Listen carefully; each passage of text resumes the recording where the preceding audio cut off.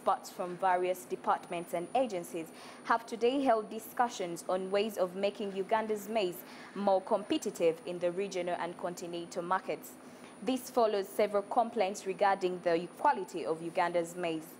Early March this year, Kenya, a country where maize is a major crop for food, stopped the importation of maize from Uganda because of its quality concerns. We have more on their inter uh, interventions. Early last month, Kenya banned the importation of maize from Uganda because of quality concerns.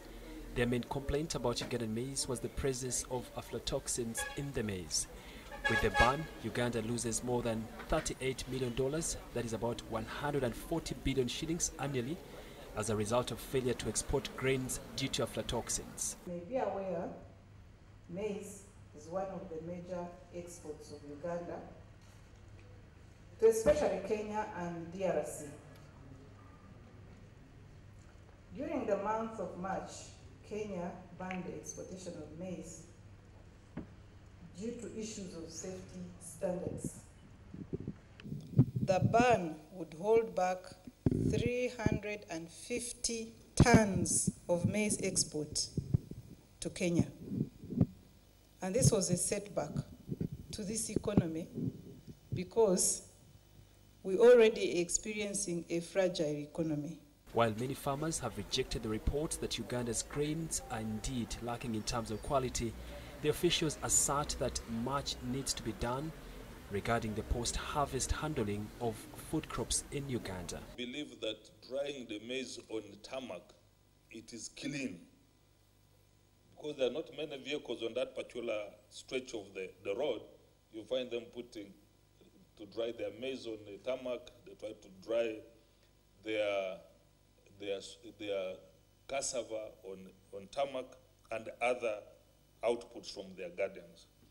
But that is really to do with the mindset. And for some of them, they just clean their compound and put the cob on the ground.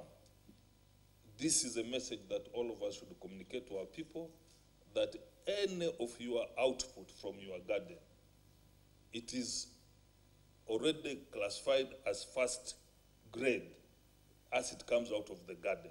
It was agreed that more efforts be put to improve the quality of maize. Then they sell in bulk to the consumers, or they sell in bulk to the aggregators, big aggregators, large, large aggregators, like uh, those who are selling to WFP or those who are exporting it. So that is, that is an opportunity.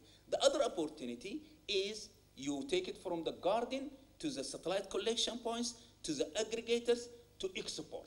The experts are expected to come up with policies that will be implemented to ensure that the quality of Uganda's maize is improved. Story compiled by Rachel Nachwala for the news in Kampala.